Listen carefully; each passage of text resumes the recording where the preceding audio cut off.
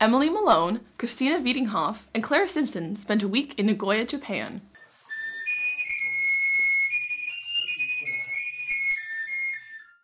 They helped draft what is being called the Youth Accord. It's a collective statement from young people representing 12 countries concerned with the state of our ecosystems. It was presented at the UN Convention on Biological Diversity.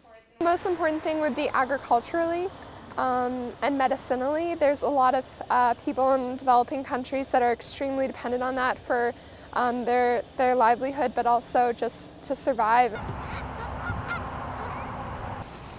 Biodiversity refers to the variety of animals and plants on Earth. It's an issue right here at home. Part of the woodlot owned by the University of New Brunswick is being cleared for projects such as the new Costco. Plans are infringing upon its wetlands, which are home to many species of animal and plants, some endangered.